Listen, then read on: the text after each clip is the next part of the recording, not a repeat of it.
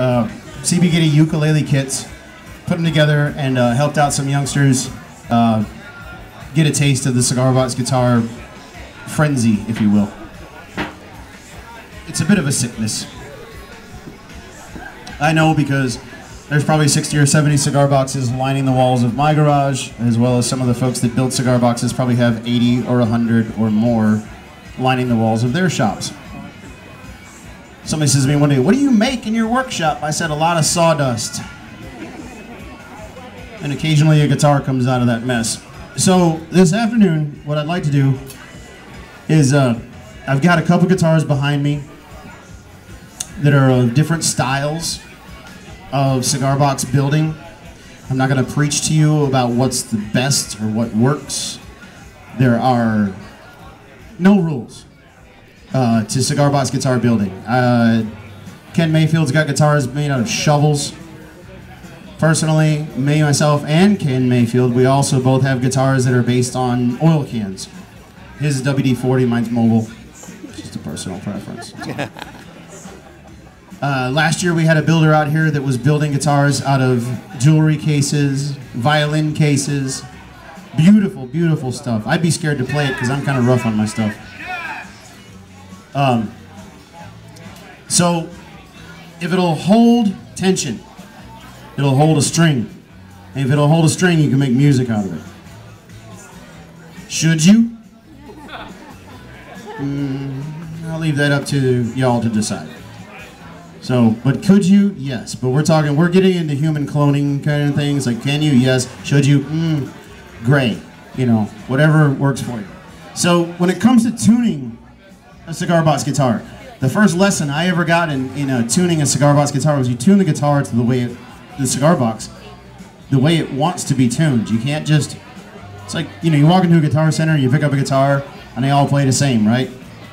You just stylistic differences. Cigar box guitars, let's face it, folks, it's a stick on a box. It's a stick on a box. Does everybody get that? It's a stick bolted to a box. So, you know, it, it, the difference between a cigar box and a cigarette pack is a little bit of wood. It's just a little further.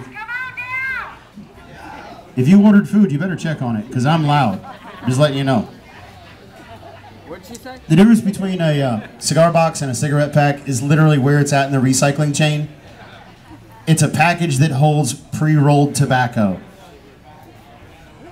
You know, folks have been throwing them away for years. Folks have been putting art supplies in them, tchotchkes, making clocks and pocketbooks out of them, and people have been making guitars out of these things since the 1870s.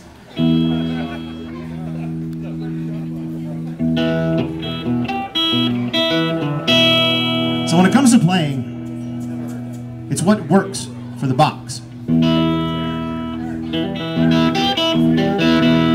I've broken strings trying to force a tuning onto a box. I've broken boxes trying to force a tuning onto a box.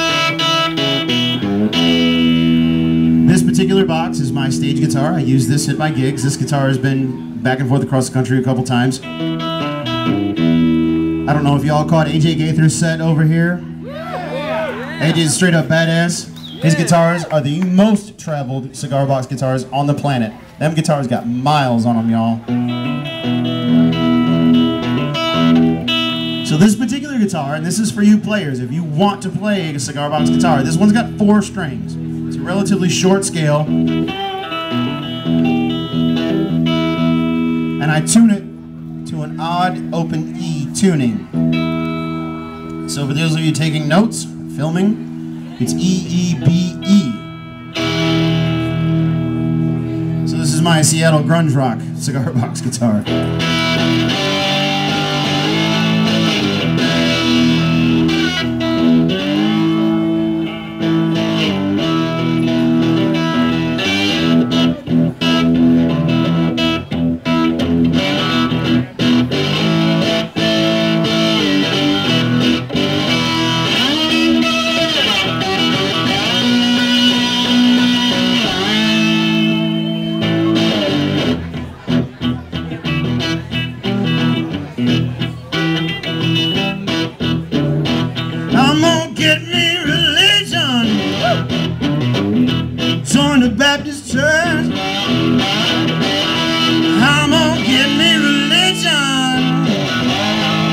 Join the Baptist church. I'm gonna be a Baptist preacher. Lord, I won't have to work.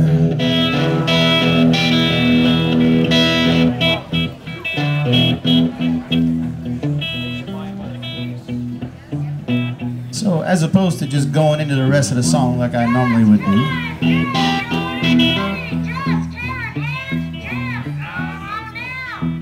y'all catch that? Cherry, you gotta put a little bass in your voice, darling. You gotta get up out there in the mix. We're just having a little fun over here. So, anyway.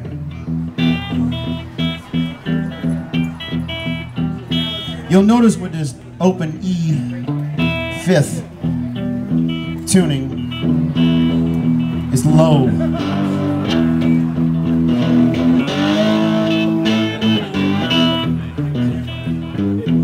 I got heavy strings and light strings playing the same notes.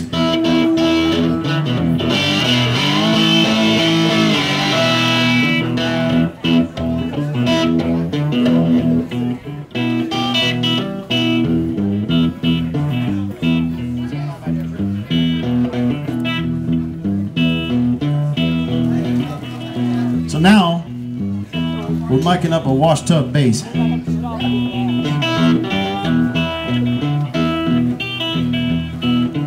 I'd be lying if I said I knew how to play that damn thing.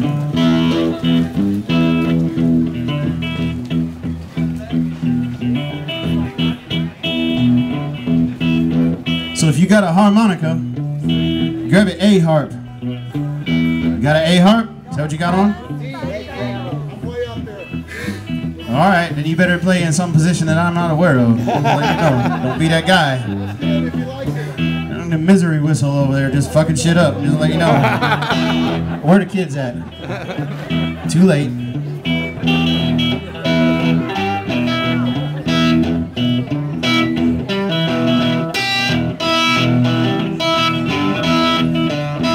Well, then uh, I was in a pulpit.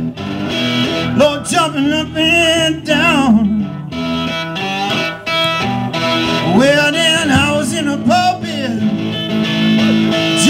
and down.